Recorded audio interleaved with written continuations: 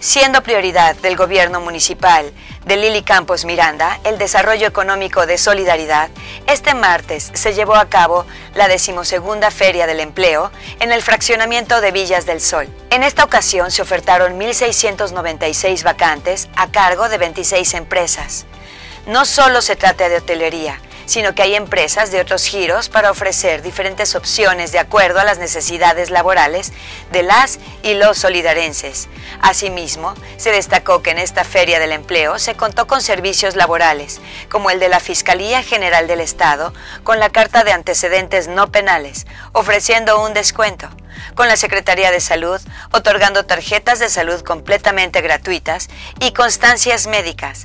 Además, se encontraba la Procuraduría de la Defensa del Contribuyente, donde de manera gratuita se están dando asesorías fiscales.